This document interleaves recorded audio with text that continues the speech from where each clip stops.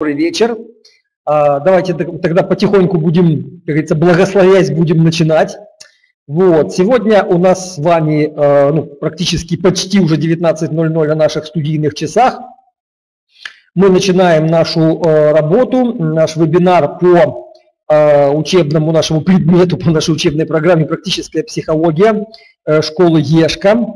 Вот мы уже, как уже с начала этого года, у нас такая пошла традиция – что мы проводим вебинары в таком международном формате. Я очень рад тому, что э, наша компания участников расширяется, приобретает такие более вот, широкие географические значит, параметры. Да?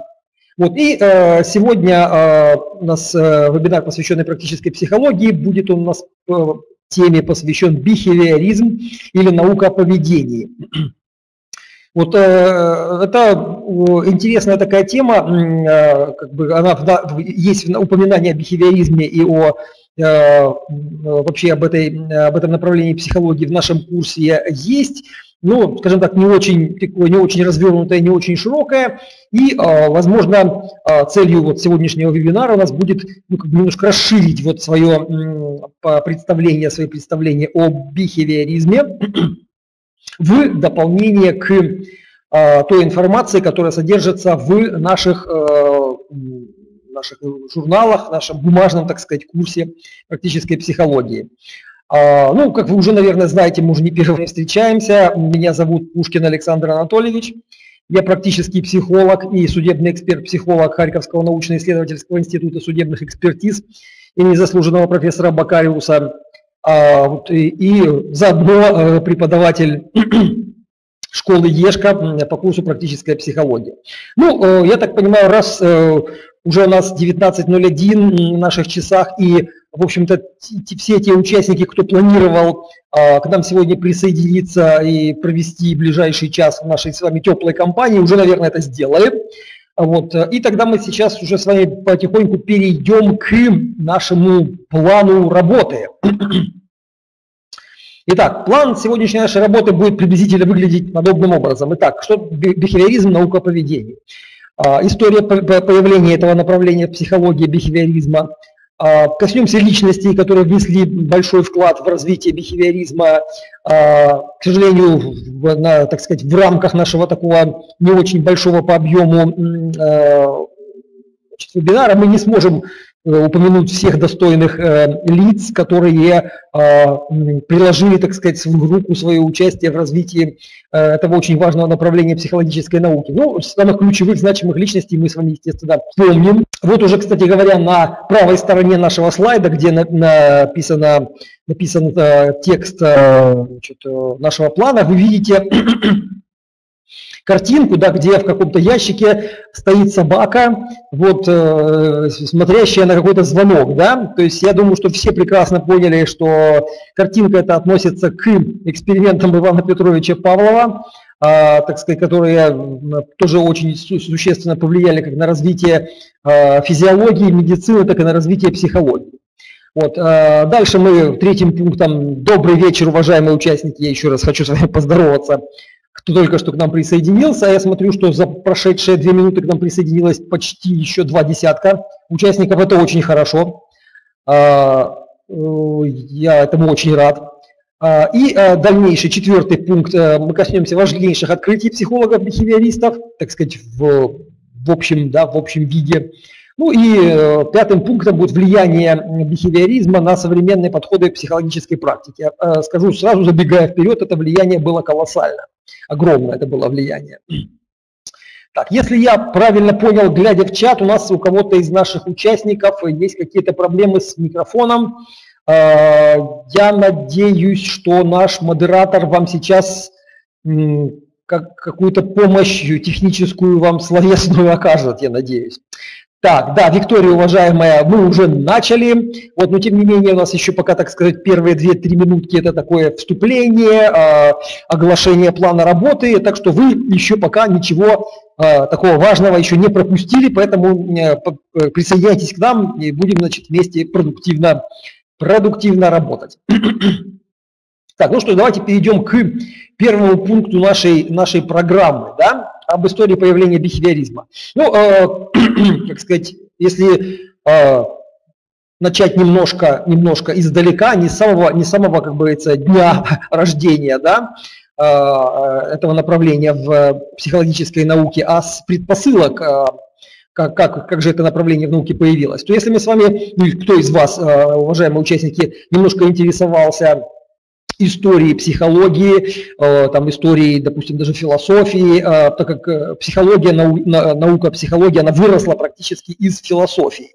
Вот поэтому, как говорится, и история философии это тоже касается.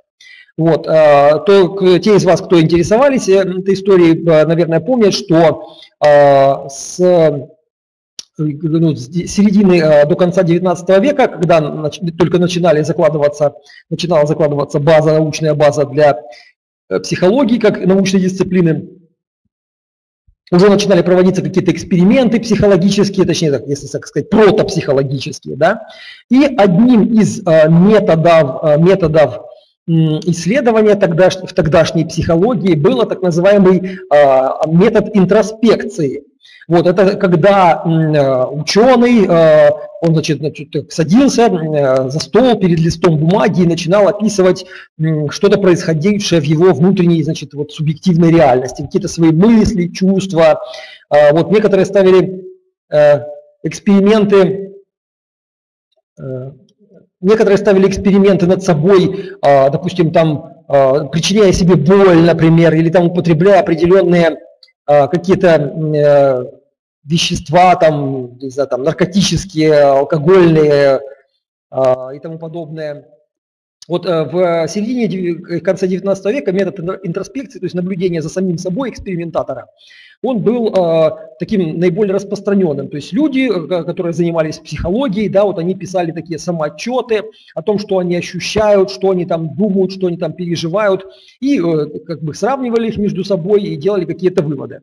Вот, но Э, в конце 19-го, начале 20 века такой метод исследования, он, ну, как бы, а, скажем так, начал терять актуальность, да, в науке, в частности, в естественных науках, в точных науках, ну, в естественных, в первую очередь, науках, начал господствовать такой философский подход, который называется позитивизм. Э, суть его заключается в том, что э, единственным э, знанием является, вот по мнению позитивистов, то знание, которое получено в результате опыта, в результате эксперимента.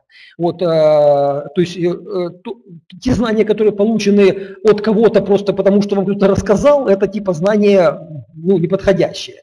Нужно только то, что э, добыто в эксперименте, в каком-то опыте, то э, можно считать научным знанием. И вот э, именно основываясь, основываясь опираясь на вот эти вот философские позитивистские идеи, а, появился такой вот подход в психологии, как бихевиоризм. Вот нужно еще отметить такой момент, что появился он по времени практически в одно время, ну чуть позже, там, ну буквально на там, пару лет, появился вместе с психоанализом. То есть практически в одно и то же время возникли э, два просто революционных направления в психологической науке, которые просто ну, реально потрясли да, вот, эм, э, научный мир. Вот, э, ну, э, э, о психоанализе мы тоже с вами когда-нибудь коснемся, вот сейчас мы поговорим о бихевиоризме.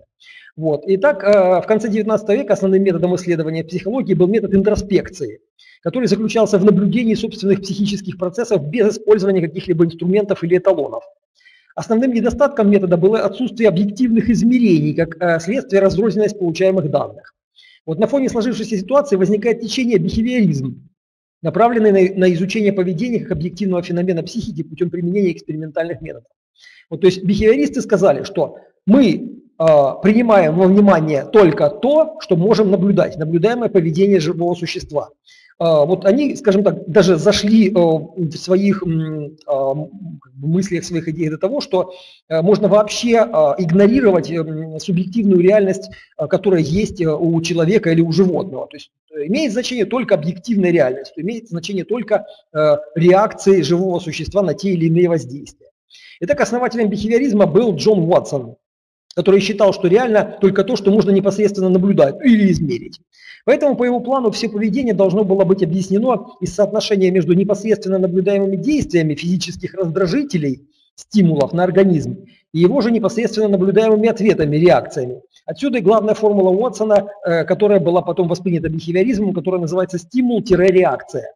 Вот э, Собственно говоря, это вся теоретическая база раннего, э, ну, как бы так вот в сжатом виде раннего бихевиоризма. То есть имеет значение только реакция на какие-то определенные стимулы. И э, изменяя стимулы, э, наблюдая на, за определенными реакциями, можно делать объективные выводы о, э, значит, э, скажем так, э, поведении, о психике э, живого существа.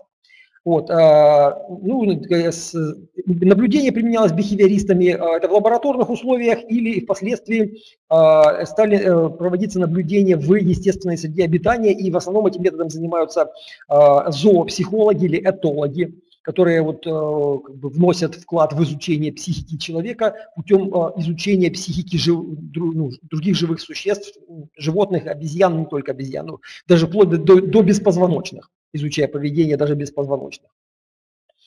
Вот. А большинство экспериментов бихевиористы проводили на животных, причем начали сразу же с животных, с крыс, например. А вот. Затем установление закономерности реакции в ответ на воздействие окружающей среды начали переносить на человека. А бихевиоризм сместил акцент экспериментальной практики э, психологии с исследования поведения человека на исследование поведения животных. То есть Понятно было, что далеко не все эксперименты, которые хотелось бы поставить, да, вот на, э, на людях, да, вот э, связанные с поведением людей, далеко не все из них можно э, как бы, ставить эти эксперименты. И бихевиористы с этическими проблемами столкнулись буквально чуть ли не с первых дней своей практики. И причем проблемы, мы с вами упомянем о них дальше, они были реально очень серьезными проблемами этическими. И это в какой-то степени затормозило развитие э, этого направления в науке, но тем не менее для решения этих э, этических проблем э, эксперименты начали проводиться в большей мере с животными и с перенесением, ну в какой-то, конечно, степени перенесением этих результатов на людей. Вот. И вот таким вот образом возникло это направление. Да? Вот, ну, что нужно сказать о как бы, его географическом скажем так, положении, да, вот если, например, психоанализ э, это было явление скорее такое ну, больше сконцентрированное в Европе, европейское при, при своем врождении, да, психоанализ был э, явлением европейским, а, вот, а, то а, бихевиоризм был явлением больше американским, но, тем не менее, вклад в развитие бихевиоризма внесли также еще российские, русские ученые, о которых мы тоже вспомним. Итак, личности, которые внесли вклад в развитие этого направления психологической науки. В первую очередь, естественно, мы должны вспомнить Джона Уотсона, это а, основатель, так сказать, этого направления, американский психолог, основатель бихевиоризма.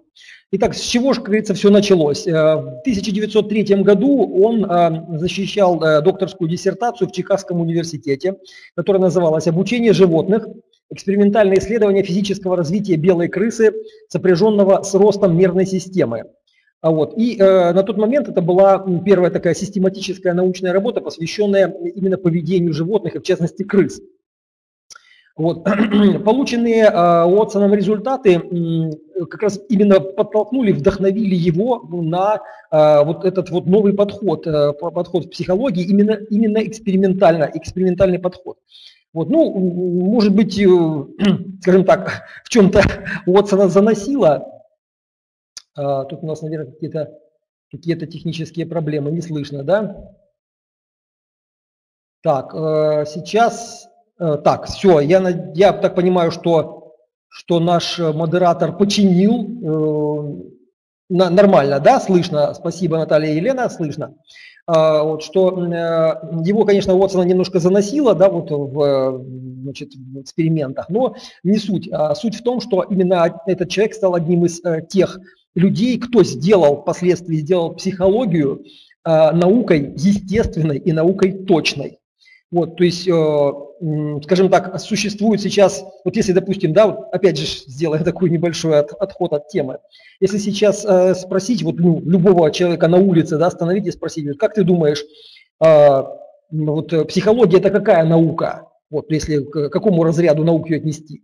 Большинство скажет гуманитарная, да, так как она имеет отношение к э, человеку, вот к его, э, скажем так, внутренней его какой-то жизни.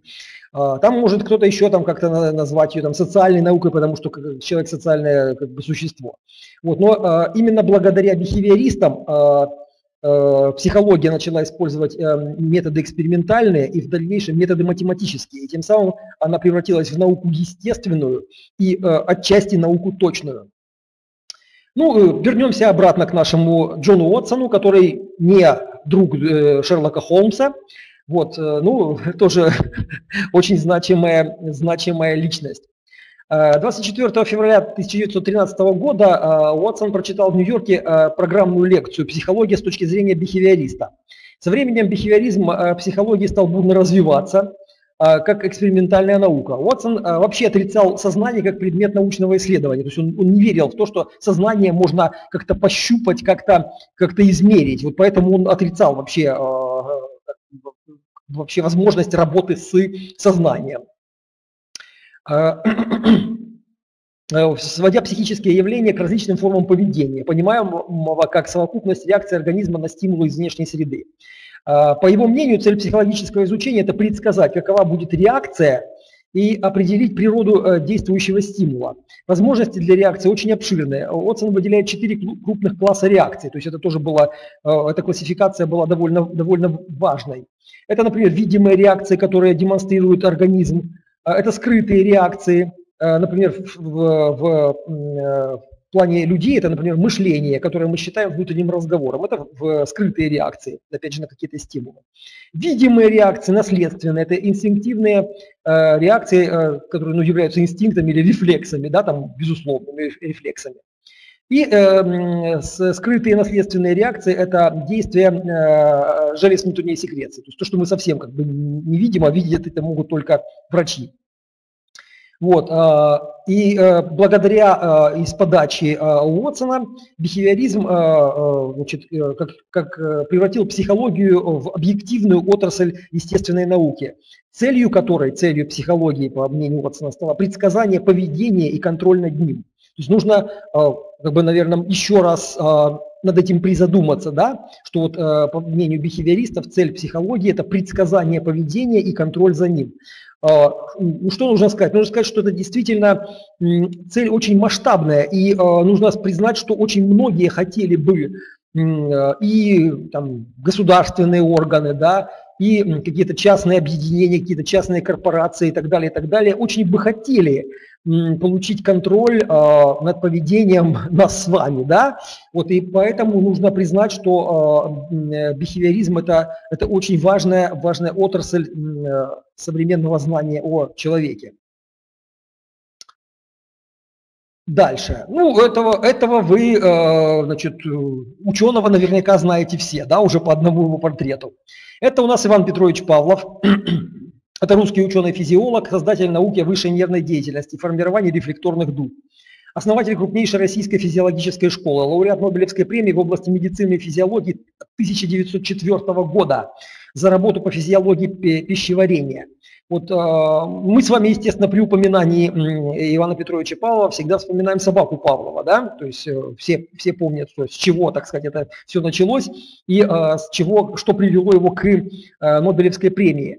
А, но, а, скажем, а, первоначально эксперименты, которые начинал ставить Павлов, они вообще не предполагали того, что все зайдет так далеко, да, то есть он вообще пытался, как физиолог, как врач, как физиолог, он пытался разобраться с механизмом пищеварения. Поэтому он делал эксперименты на животных, в частности на собаках, вот встраивал, вот, знаете, вот эти трубочки, да, вы знаете, там из школьной программы, Э, с помощью которых он э, получал э, слюну, получал желудочный сок, получал выделение, секрецию из кишечника, из различных зон кишечника, и он значит, пытался тем самым понять, как же работает пищеварение. Но, можно сказать, по какой-то счастливой случайности он еще и открыл эм, так называемые условные рефлексы. Вот, когда значит, собаки, у собак начиналась выделяться, начинала выделяться слюна, еще до того, как ей показывали еду, когда приносили еду, что когда она слышала и о том, что где-то уже звенели миской, да, вот, что скоро будет еда. И вот этот факт э, привлек его внимание Ивана Петровича Павлова как, как действительно хорошего, талантливого ученого. Он начал развивать, э, э, то есть он понял, что это направление даже более перспективно, чем просто изучение желудочного сока. Вот э, э, дальнейшее развитие этих экспериментов, этих исследований привело его в дальнейшем э, к Нобелевской премии. Э, вот. Также в значит, в мадридском докладе, который он сделал на Международном медицинском конгрессе, э, Павлов впервые сформулировал принципы физиологии высшей нервной деятельности. То есть э, который он посвятил практически всю свою следующую научную жизнь. Вот, э, он ввел, фактически ввел в науку такие понятия, как безусловные и условные рефлексы, а также такое понятие, как подкрепление. И э, впоследствии вот эти его, это его открытие в, вошло как один из фундаментальных камней, да, таких вот в фундаменте бихевиоризма, не только бихевиоризма, а вообще со всей современной, современной психологии. Вот, а, ну, давайте тоже вспомним немножко, да, что такое безусловный, что такое условный рефлекс. Безусловные рефлексы – это э, так называемые э, э, запрограммированные реакции живого организма, которые передаются ему генетически, которым он не обучается, никогда им не обучался. Вот, ну, например, вот э, что мы можем взять из э, э, безусловных рефлексов, вот касаемо, например, человека, да, вот если у кого были или есть маленькие дети, если были маленькие дети, вы, если вы это помните, что вот буквально новорожденный, да, он еще же ничего не, не умеет делать, вот если вы пальцем прикоснетесь к его ладошке, да, к центру ладошки, то он вас схватит за палец. Вот это, это присуще абсолютно всем, всем, всем детям, всем младенцам, вот, даже вот только что вот рожденным. Вот э, это вот совершенно э, э, как бы есть то, что называется безусловным рефлексом. Это то, один из примеров безусловных рефлексов, которые крайне необходимы для выживания данного вида. А дальше на базе безусловных рефлексов, как их развитие, начинают развиваться условные рефлексы. Вы именно в связи с воздействиями окружающей среды. И вот, да, тут правильно нам говорят эм, в, в, в чате тут да, вспоминают еще другие безусловные рефлексы, совершенно верно. Вот. А, и э, э, это открытие Павлова стало очень важным для последствий для развития э, современной науки. Дальше. И уже ближе к нам по времени а, необходимо просто, просто нельзя не упомянуть такую выдающуюся личность, такого психолога, бихевиориста, как Берес Скиннер.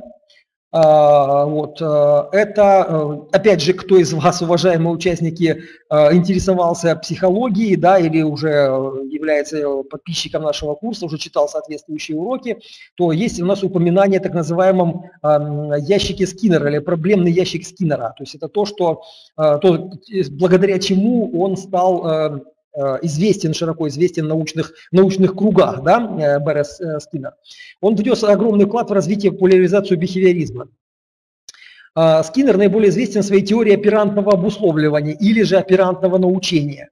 Он внес вклад в развитие социальной инженерии. То есть что такое социальная инженерия? Это как бы наука, которая позволяет предсказывать поведение людей, даже не, не отдельной личности, целых групп людей. Соответственно, влиять на их поведение.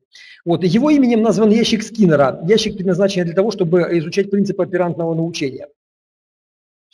А, вот можно посмотреть на лицо этого серьезного ученого. А, Дальше. А, касаемо, касаемо э, этого, э, э, этих ящиков Скиннера, да, что вот мы можем вспомнить или узнать о, о них. Вот, значит, Скиннер брал такие большие ящики, значит, в них находился рычажок, вот, и туда он а, помещал животных, а, поначалу это были крысы, но потом туда он начал, и помещал птиц, голубей и других животных и наблюдал за их поведением. Итак, в свои ящики Скиннер сажал голодных подопытных животных, ну, например, крыс. В процессе изучения пространства, в которое их поместили, крысы случайно нажимают рычаг.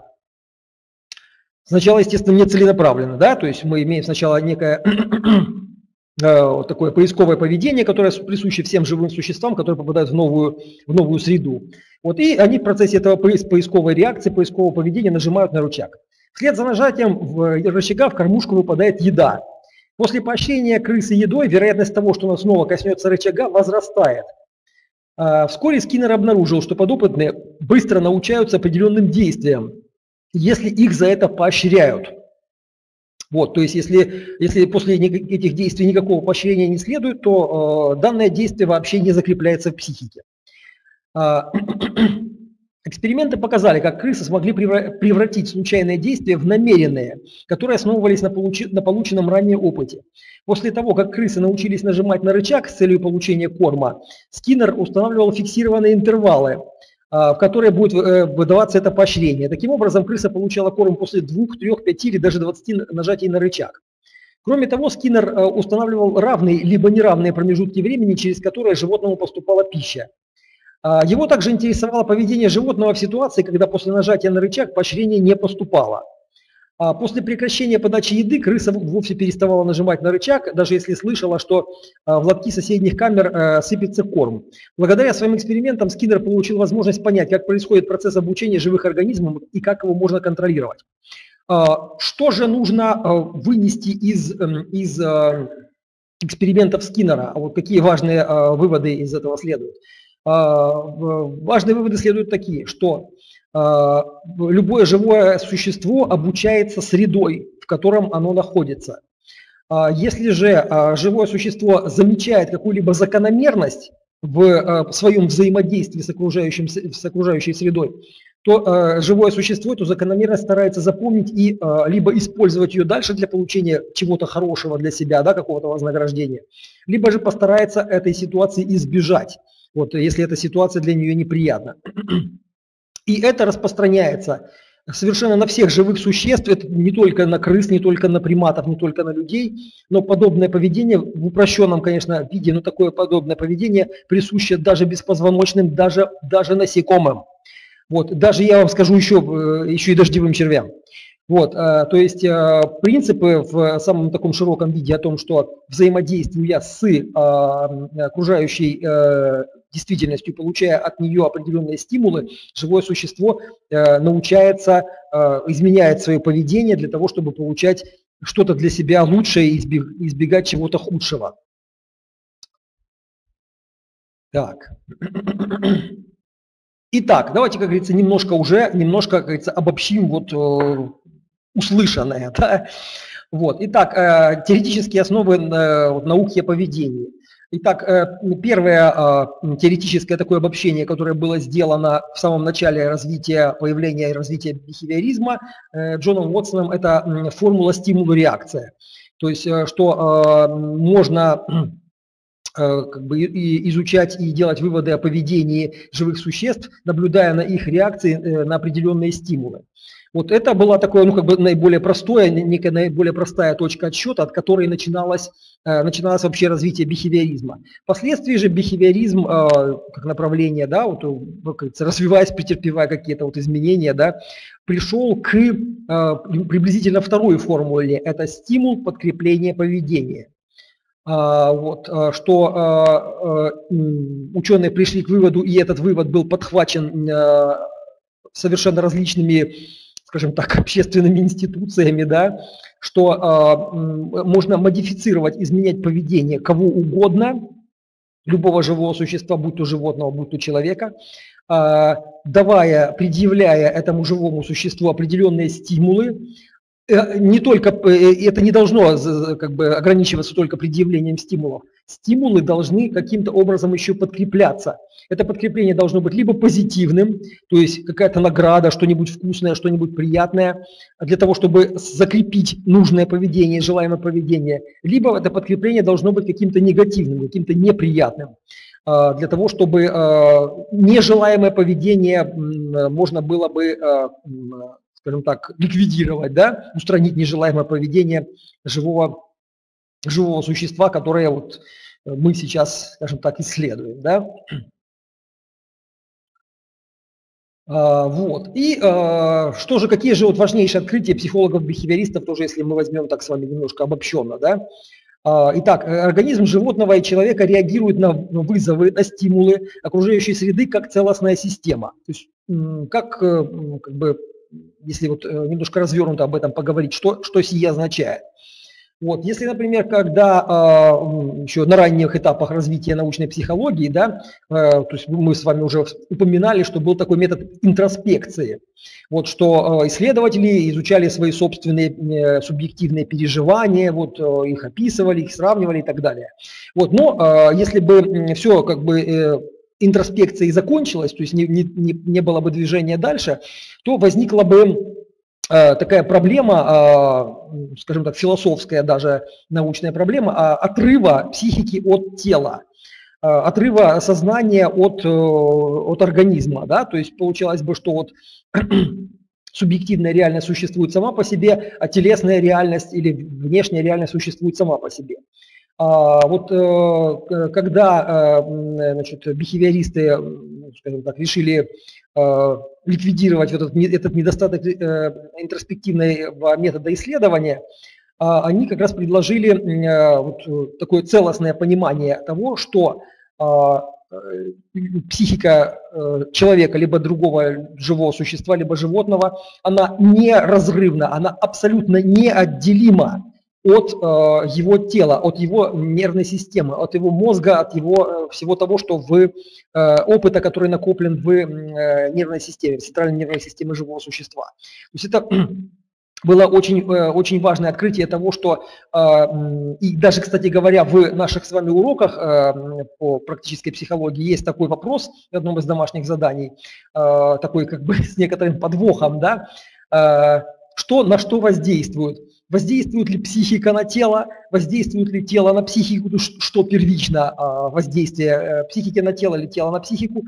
э, либо же э, психика и тело действуют как единая система. Так вот, правильным ответом является то, что психика и тело являются целостной единой системой, которая вот, реагирует именно как, цело, как, как целостность. Дальше. Живой организм старается повторять получение позитивных стимулов и избегать негативных стимулов. То есть это тоже было очень важное открытие бихевиористов, как бы так сказать, если его обобщить немножко по-другому, да, что, что вот э, ну, известные пословицы да, про э, формирование какого-то нужного поведения с помощью кнута и пряника.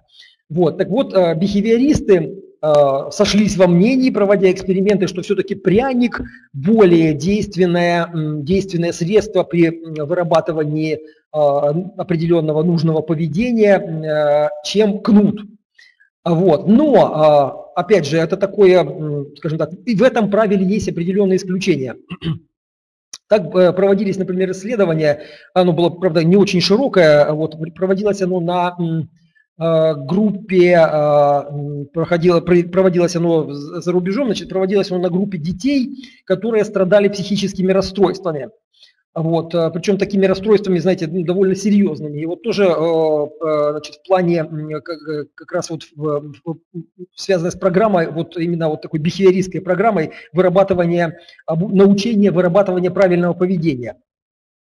Э, вот, э, так вот, э, по выводам этой группы оказалось, что на выборке детей, которые страдают психическими расстройствами, далеко не всегда позитивные стимулы действуют лучше, чем стимулы негативные. То есть не всегда далеко пряник действует лучше, чем кнут. Вот, то есть, скажем так, есть нюансы, да, то есть вот и такой, такой момент тоже есть. Но опять же, э, повторюсь, что эти исследования проводились на э, группе, на небольшой выборке э, детей, страдающих психическими расстройствами. То есть это нельзя распространять эти выводы, нельзя их генерализовать на всех, скажем так, детей или на всех, на всех людей. Дальше. Применяя различные виды подкрепления, позитивного или негативного, можно добиться изменения поведения в нужном направлении и поддерживать такое поведение определенное время. Вот, ну, э, я думаю, что вот эти выводы, да, вот э, психологов-бихевиористов, они вот нам, любому из нас, вот если мы сейчас на них посмотрим, они покажутся совершенно очевидными, да. То есть, ну это же очевидно, ну, как говорится, до этого дальше, то есть до, до этого раньше не додумались. Вот, э, ну, вот как говорится, как бы сказать, гениальность, да, вот э, можно назвать того ученого гениальным или ту группу ученых гениальными, которые смогли э, сформулировать и, так сказать, открыть глаза, допустим, на очевидное, да, вот то, что для нас сейчас становится очевидным. Итак, ну давайте сейчас с вами, с вами немножко по, скажем так, порассуждаем, да, где мы с вами, вот, скажем так, обычные люди, где мы, где мы с вами можем столкнуться с Э, методами бихевиоризма да, в своей жизни, в своей семейной жизни, в своей рабочей жизни. Вот э, как применяются методы позитивного или негативного подкрепления в отношении, там, допустим, там, кого-то или в отношении нас самих, кто вот э, может э, привести конкретные примеры. Так, ну вот, смотрите, правильно, Галина э, и э, э, Ангелита, если правильно я назвал, да, извините, если я ваш ник неправильно произнес, э, говорят о воспитании детей и мотивации к учебе. А, вот, ну давайте э, уже, как говорится, более так целенаправленно поделимся. Можете ли вы, уважаемые участники, кто-то из вас, а, может ли поделиться какими-то своим собственным опытом, а, скажем так, закрепления каких-то позитивных навыков, позитивного поведения, которые вы применяли сами в отношении там, своих собственных детей, или в отношении там, учащихся, или в отношении, там, может быть, своего мужа. Вот если кто-то из вас может ли поделиться какими-то своими а, вот, э, методиками да, э, закрепления позитивного нужного поведения, пожалуйста. Если у вас такие есть, я прошу вас в чат коротенько так, Виктория пишет, маленькие дети любят клянчить себе игрушки, которые через истерику, а некоторые через постоянные просьбы. Э, так у них в семье работает ящик, как у них в семье работает ящик Скиннера. Вот здесь скорее вот э, э, речь здесь должна идти о не подкреплении поведения плохого, а наоборот его, скажем так, подавлении плохого поведения. Вот, ну, что говорит нам наука, психология о том, как э, правильно себя вести в случае, если ребенок начинает манипулировать взрослыми и начинает закатывать истерики. Э, то, естественно, как известно, э, лучший путь – это на такую истерику не реагировать. То есть, естественно, не, нельзя отвернуться от ребенка и просто уйти. Нужно все равно за ним одним глазом присматривать, но при этом не демонстрировать своей заинтересованности в его поведении. То есть не пугаться, не кидаться его там, ублажать и так далее, и так далее. То есть несколько раз, когда ребенок, как, как та же самая крыса да, в, в ящике Скиннера, которая, понажимав на, э, на, на рычаг, который раньше давал еду, а потом еду перестал давать, то крыса через некоторое время поняла, что нажимать уже смысла нет, еды не будет. Вот точно так же э, отучить ребенка от истерик можно таким же самым способом, то есть просто не реагируя на это. И, и через какое-то время, поняв, что это бессмысленно, ребенок это, это поведение просто, как говорится, перестает, э, перестает демонстрировать. Так, Галина пишет, сейчас э, мужа поощряю вкусняшками, да и сына. Ага, хорошо, Галина, а за что же вы их поощряете? Можете э, нам сказать?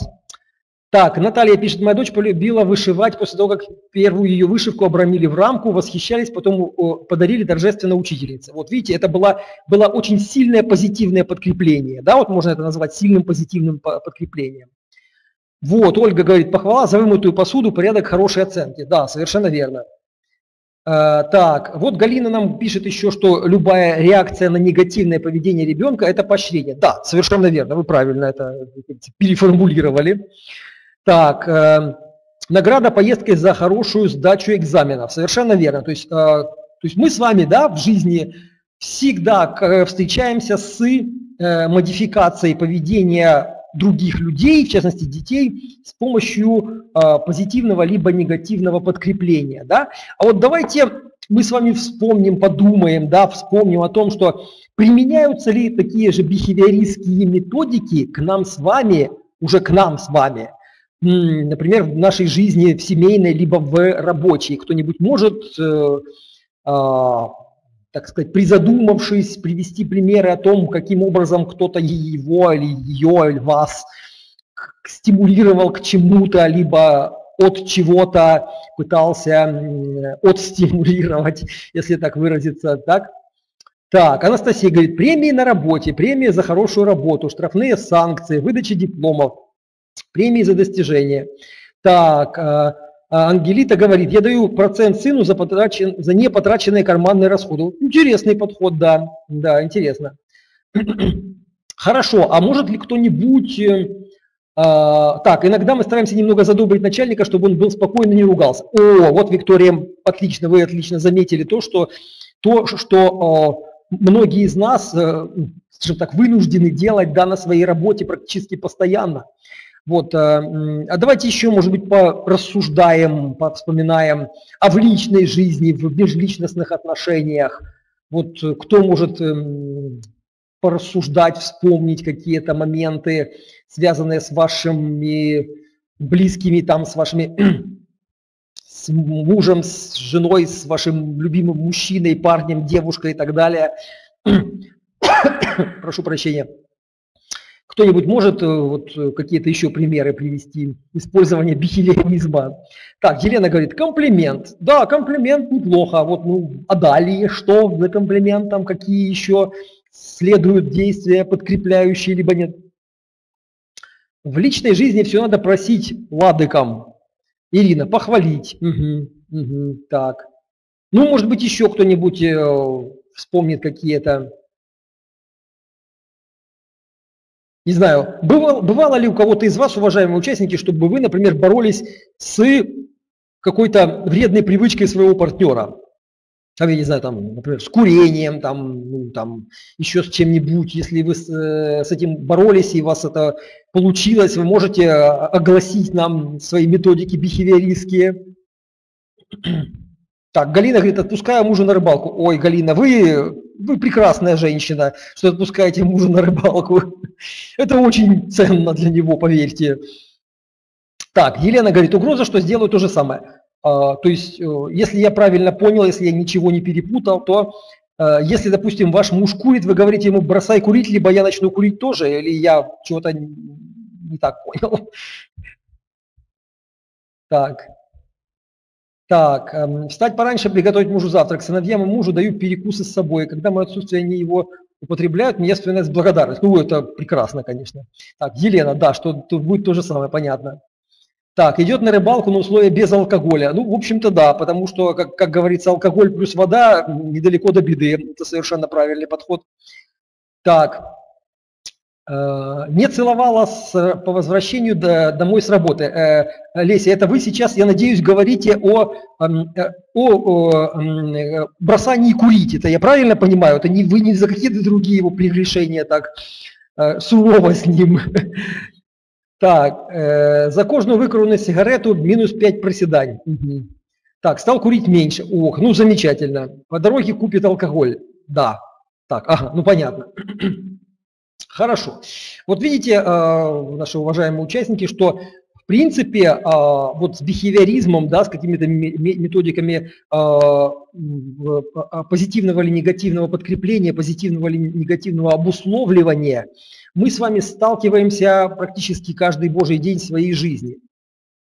Вот. А, и а, мы с вами еще должны не забывать о том, что кроме того, что мы сталкиваемся с этим в воспитании своих собственных детей, в общении со своими супругами, с мужьями, там, женами, а, подругами и так далее, и так далее, родителями, но есть еще большой пласт такой, такого влияния на нас с вами. Это со стороны Э, общества, да, например, э, со стороны каких-то отдельных групп, например, со стороны органов власти, например, со стороны каких-то компаний, которые хотели бы, чтобы мы у них что-то купили, да, вот, э, чтобы мы действовали определенным образом. Вот можете ли вы, ну, если тоже подумаете, при, при, э, привести какие-либо примеры, каким образом, вот, скажем так, общественные институции в самом широком смысле оказывают на нас э, влияние, да, как они используют позитивное или негативное подкрепление, позитивное или негативное обусловливание, чтобы добиться от нас определенного поведения. Вот кто-нибудь может из вас привести какие-то примеры, как на нас со стороны общества каких-то вот общественных э, институтов на нас влияют. Так, Галина, скидки, распродажи. Елена, штраф. А, Наталья, акции, скидки. Вот, да, так называемое позитивное подкрепление. Пошло. Что еще можно, что еще можно в, при, вспомнить? Тоже бонусы при покупке, да, это вот тоже вот из, из той же оперы торговли, да. А, э, реклама, совершенно верно, верно. Так, назначают э, партнерам подарки за определенный оборот. А, то есть это вы про бизнес, наверное, Ангелита говорите, да, про какие-то бизнес, бизнесовые какие-то процессы. Ага, так, процент при вкладе на банковском счете, да, совершенно верно. Так, еще кто-нибудь что-то может привести примеры? Ну вот э, тоже, э, скажем так, пример э, о том, как, как мы выбираем профессию, как мы получаем специальность. Вот э, тоже, когда мы, например, э, ну, принимаем решение выбирать ту или иную профессиональную э, линию, да, ведь мы что ожидаем? Мы ведь ожидаем неких позитивных стимулов, некоторого позитивного подкрепления за свой выбор, правильно? Есть же такое дело. И когда, например, студент обучается в высшем учебном заведении, то э, Э, тоже применяются различные методы как позитивного, так и негативного обусловливания, подкрепления для, для студента. То есть вот мы с вами, как говорится, тоже, кто, кто получал образование, это все прекрасно помнят. Вот, Наталья говорит нам, что любимая учительница, люблю предмет. Да, это называется генерализация, то есть перенос отношения с человека на то, э, с чем он связан. То есть это, это ну, как бы сказать, это, да, это в какой-то степени к бихевиоризму относится, а вот эм, так, э, стипендия, да, совершенно верно. Ну, то есть мы с вами вот так вот э, как бы разобрались, да, как это, как это все у нас с вами действует. Итак, э, влияние бихевиоризма на современные подходы именно в психологической практике. Э, итак, что бихевиоризм положил начало возникновению и развитию различных психологических и психотерапевтических школ. Вот, э, из современных можно назвать необихевиоризм, когнитивная психология, поведенческая психотерапия, рациональная эмоциональная поведенческая терапия и так далее, и так далее. Существует множество практических приложений бихевиористской психологической теории, в том числе в далеких от психологии областях. Ну, далекая от психологии, недалекая, а ближайшая область – это педагогика, то есть школы, учебные заведения, а, тоже не очень далекая от психологии э, отрасль – это управление персоналом, то есть все это мы понимаем, да? Вот. Но из э, современных психологических э, техник, вот, психо, э, психотерапевтических техник я должен э, упомянуть обязательно, это э, то, что называется когнитивно-поведенческая психотерапия. Это тот вид психотерапии, который на, сейчас, на сегодняшний день является одним из самых наиболее эффективных, один из самых наиболее широко применяемых в современной э, практике психологической и психотерапевтической. Э, и именно эта когнитивно-поведенческая психотерапия своими корнями уходит именно в бихевиоризм. То есть и за эту э, психологическую методику, терапевтическую методику мы должны сказать спасибо классикам, которые э, мучили крыс, которые пугали детей, как, например, тот же э, Джон Уотсон, который э, первым, так сказать, первым провел э, эксперимент с ребенком по, по, по формированию эмоций страха. Вот, значит, и это же, так сказать, его первый же его опыт оказался с точки зрения, так сказать, этики, научной этики оказался неприемлемым, да, ну и другие, это, конечно, опыты, которые проводились э, и в лаборатории Павлова э, с людьми, они тоже были, будем сразу говорить, не очень этичными, вот, но тем не менее э, мы должны быть благодарны и этим невольным жертвам, да, которые внесли свой вклад в развитие науки и позволяют нам сейчас пользоваться ее, ее плодами. Вот, а, как я уже говорил, что бихевиоризм значим в области педагогики. Например, в США разработана методика так называемого инклюзивного обучения, и которая закреплена соответствующими а, а, соответствующим законодательным актом, которая призвана, эта методика призвана включать, включать, интегрировать в учебный процесс вместе с ну, скажем так, обычными детьми, а, детей, которые имеют некоторые, ну, скажем так, отклонения физические или, может быть, психические, а, вот, э, для того, чтобы такие дети не чувствовали себя оторванными, чтобы они были включены в общий э, процесс обучения и тем самым ощущали себя, э, скажем так, нормальными членами общества. Вот, и вот именно эта методика, она как бы ну, достойна, достойна вот, так сказать, самого, самого положительного, э, самой положительной оценки.